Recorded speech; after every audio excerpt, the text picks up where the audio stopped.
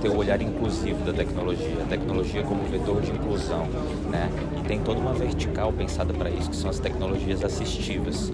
E agora, no último dia 3, foi o Dia Internacional da Pessoa com Deficiência. Nada, nenhum momento mais propício para lançar um programa como esse que habilita a comunicação é, da, dos surdos para os órgãos, junto aos órgãos do governo. É um serviço que o GDF está prestando às pessoas com deficiência auditiva, especificamente na área de Libras, oferecendo a essas pessoas a, o atendimento em Libras em qualquer órgão do GDF através de um aplicativo que vai ser um acesso de um intérprete para intermediar uma conversação e resolver todas as suas questões dentro do órgão.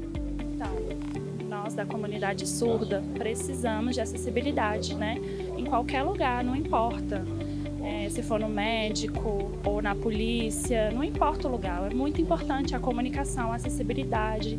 Às vezes é impossível o intérprete estar ali presencialmente, vai conseguir esse, esse atendimento de graça, né? Então é muito importante para a comunidade surda. Essa transformação que essa grande entrega hoje simboliza, ela é a prova dessa junção entre o legislativo, o executivo e de pessoas que vivenciam essa dificuldade no seu dia a dia.